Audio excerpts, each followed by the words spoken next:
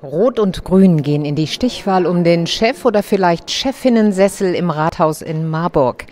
Amtsinhaber Thomas Spieß bekommt 34 Prozent, deutlich weniger als vor sechs Jahren, aber er ist für den ersten Wahlgang zufrieden. Ich habe mit einer drei vorne gerechnet. Das ist der Fall. Es waren neun Kandidaten und es war ein ganz skurriler Wahlkampf. Ähm, und es war zusammen mit der Kommunalwahl, wo natürlich die Parteienzuordnung eine viel stärkere Rolle spielt. Insofern, nein, ich finde, das ist das, was ich erwartet habe und ich bin damit sehr zufrieden. Fast 26 Prozent bekommt die grüne Richterin und Kirchenfrau Nadine Bernshausen.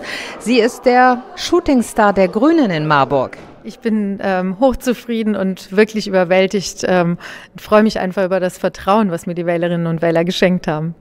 Was war das entscheidende Thema bei der Wahl? Ich denke schon, dass es der, die ähm, Angst der Bevölkerung vor dem Klimawandel ist, den Auswirkungen und dass die Leute wirklich das Bedürfnis haben, dass da gehandelt wird. Lange Gesichter bei der CDU, Landtagsabgeordneter und OB-Kandidat Dirk Bamberger scheitert und kommt nicht in die Stichwahl.